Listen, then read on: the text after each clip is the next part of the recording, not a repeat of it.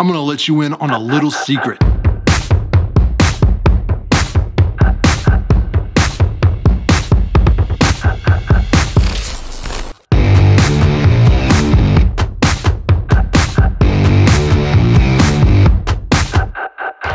Welcome to the Tarantula Collective. My name is Richard, and today I'm going to tell you all the secrets to keeping a large tarantula collection.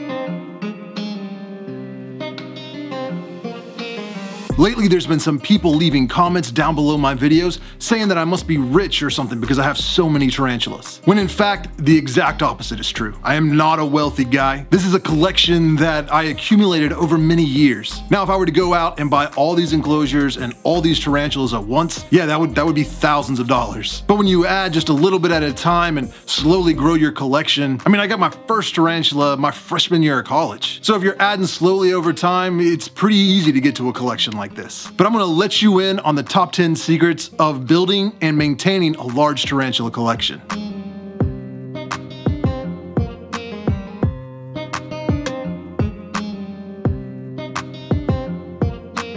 Now, the first tip is to start off slow. This is a journey, not a race. Get a few tarantulas that you really want and really get comfortable with them. Learn how to take care of them, how to rehouse them, maybe raise a spiderling to an adult or at least a juvenile. Really get established in the hobby and, and become comfortable with all the different aspects. And when you start to feel comfortable and you think you're ready to expand your collection, do some research. Figure out exactly which species you really want and how exactly to take care of them. Make sure that you've already got enclosures lined up, you've got all of the necessary skills and different things that you may need to take care of those tarantulas. And then, and only then, should you really start thinking about placing an order. I mean, you gotta slow your roll or you're gonna get overwhelmed.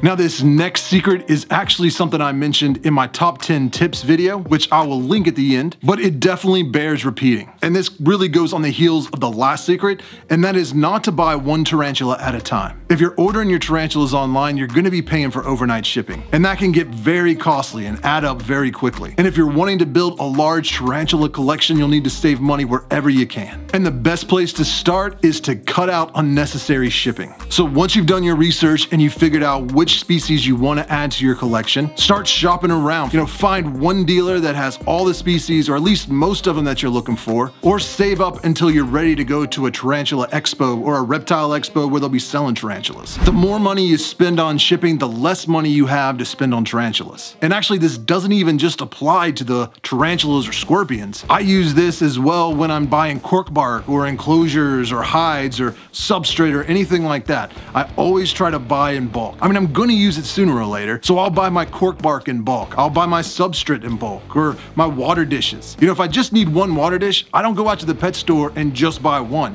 I'll buy five or 10 or however many they have because I know eventually I'm gonna need them and I've got a closet or some space in the garage somewhere where I can store it until I need it. So maybe you're not always saving on shipping, but you're saving on time spent running back and forth to the pet store, gas, you know, whatever. If you're saving time and you're saving gas, then you're saving some money. Now, this next secret is pretty much common sense, but it actually flies in the face of our desire to add more tarantulas right away. The one thing I've learned the most from this hobby is patience. Now, just because I have the money to buy some tarantulas, I've done the research, I've got the enclosures, everything's ready to go, that doesn't necessarily mean it's the best time to add more to my collection. One of the best secrets in this hobby is to wait for sales, special offers, or discount codes. Some tarantula dealers have Black Friday sales in November, so why buy tarantulas in September or October when you know they're going to be greatly discounted at the end of November? Some dealers will do an end of year sale or they'll have sales on different holidays like Valentine's Day or 4th of July. If you just do a little bit of research and maybe ask around some,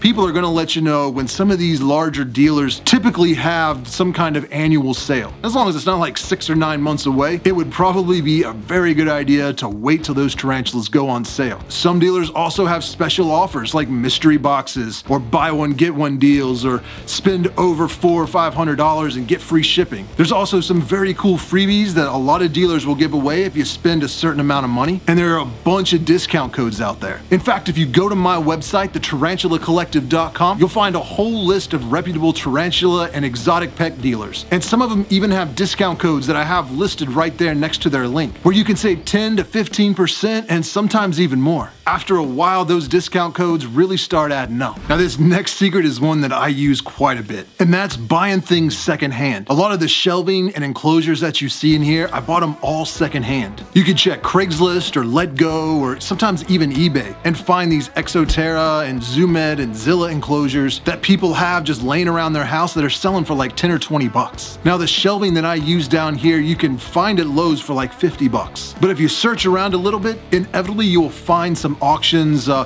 for like a business, like especially a restaurant that's going out of business. Also grocery stores, some retail stores, and they'll have this shelving and they're almost giving it away at the auction. In fact, some of these shelves I bought for only like five bucks a piece. So keep an eye out for auctions or going out of business sales, and don't pay full retail for shelving if you don't have to. Now, I know that's not always an option. Maybe where you live, they just don't have auctions, or recently nobody's been going out of business, and you need some shelving pretty quickly. You don't have time to wait. Now, this part of this secret is something I've never told anyone before, but I'm gonna tell you all today. In fact, it may be the best kept secret I have here in the tarantula hobby. Even if you have to go to a pet store or to Lowe's or somewhere like that, this is how you can get out of paying full retail. There are a lot of websites out there like cardcash.com, raise.com, Gift Card Granny, where they sell gift cards to different retail stores at a fraction of the cost. So if I know I need an enclosure and they have it at PetSmart or Petco, I can figure out how much I'll be spending and go on one of those websites and inevitably I will find someone there that's trying to sell a gift card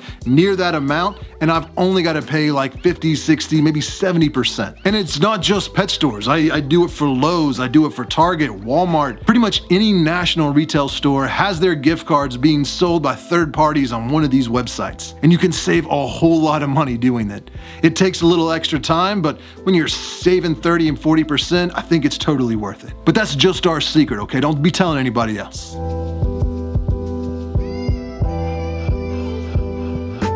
Now, this next secret isn't so much about saving money as it is saving time and saving peace of mind. It's all about keeping track of your collection. There's some very cool apps out there, like on I know on Android there's one called Exotic Keepers. I'm sure there's some for Apple, but I don't I don't mess with Apple, so you got to figure that out on your own. But even if you don't use an app, there's oh, you could use a ledger, you could use spreadsheets, just some method of keeping track of all your tarantulas that are in your collection, as well as when you last fed them, how often you need to feed them, the last time they molted, maybe when you got them, when you bred them. Just keep track of all that information. It may seem like a little bit of work in the moment, but it's gonna save you a whole lot of work and a whole lot of stress later on down the line. Now I'll be sure to leave links for everything I'm talking about down below in the description, so make sure you check that out. And another way it's helpful to keep track of all this information is when a tea mysteriously dies. If you know what temperature you were keeping it at, how often you were feeding it, when the last time it molted would be, you can take that information and use it to kind of figure out what may have happened. And in doing so, you're gonna make yourself a better tarantula keeper, you're gonna avoid making the same mistakes again, and you'll be able to share that information with other people and hopefully help them from making that mistake. And once you get above like 10 or 20 tarantulas, it's kind of hard to remember when exactly you got it, when it molted last, where you got it from. So having all that information somewhere that's stored away that you can access at any time really comes in handy. So keep track of your information.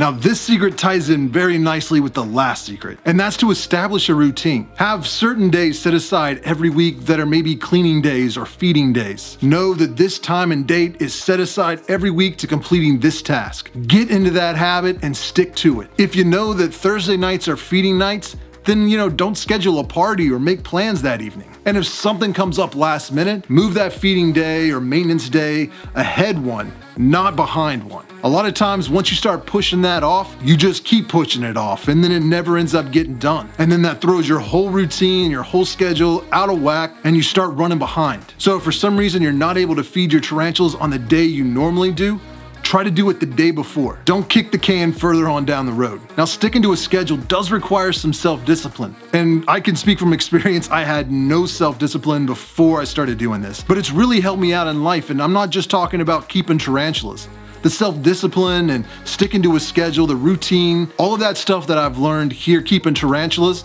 has crossed over into other areas of my life. And I've been able to exhibit self discipline in areas of my life I never thought I'd be able to. So, this secret doesn't just help you here in the hobby, it could help you in other aspects of life. But all the scheduling and routine is not gonna do you much good if you're in way over your head. So this secret is pretty much just don't bite off more than you can chew. It's really easy to fall in that trap of keeping up with the Joneses and you see this guy on Facebook has 50 tarantulas and then this guy over here has 70 and you're looking at your collection of like 20 and are thinking, I need to catch up with them. You don't need to do anything, especially that. The amount of tarantulas in your collection is not indicative of how good of a keeper you are. It is in no way a reflection of your experience or abilities. In fact, I think some of the people that I respect the most in the hobby are those that limit their collection to 10 or 20 tarantulas because they are honest with themselves and know they can't handle any more than that. We all have different lives and demands on our time and money. You may have kids and work work 60, 70 hours a week and have a dozen other hobbies that you're interested in. And you can't devote all the time that would be needed to have a collection of 200 tarantulas. So getting that many tarantulas would be like way irresponsible. Now this next one isn't so much a secret as it is something I just don't think a lot of people take into consideration when they really start growing their collection. I would say that a large majority of us when we're growing a collection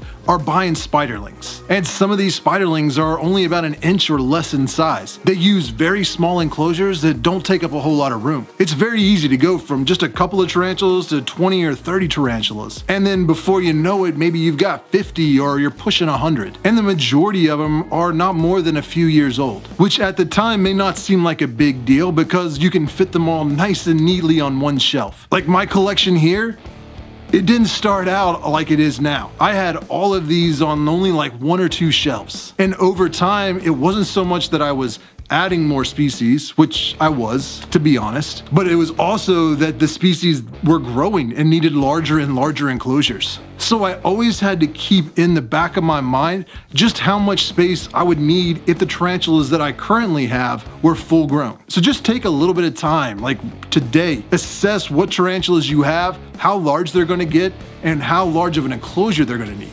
Then do the math and kind of extrapolate. If everybody's full grown and they all need to be in five or 10 gallon style enclosures, how much space would that take up? And then figure out if you got that much space in your house. So I highly suggest you figure that out and use that information to decide when and how much to grow your collection. So be prepared for the future. I mean, that's, that's the big secret here.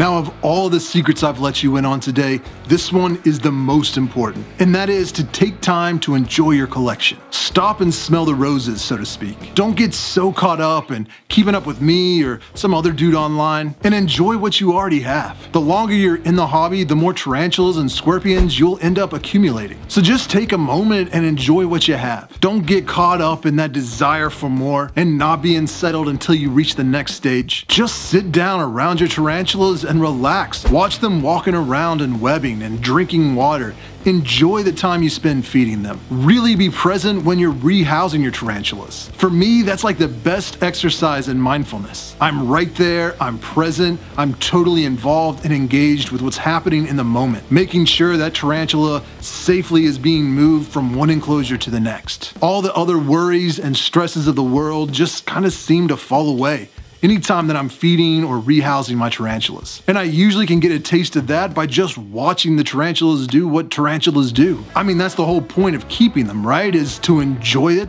So don't get so caught up in acquiring tarantulas that you forget to enjoy them. I mean, I've been guilty of it as well. There are times I've spent more time looking at pictures of tarantulas on Facebook and scrolling through websites that sell tarantulas instead of just coming right over here, just taking a few steps away from my computer to my collection and spending some time really appreciating what I already have. So don't fall into that trap. That's got to be the biggest secret in keeping tarantulas is to enjoy the ones that you have. Well, if you want more tips on keeping tarantulas, check out this video right here. And if you want to avoid some of the common mistakes in the tarantula hobby, check out this video right here.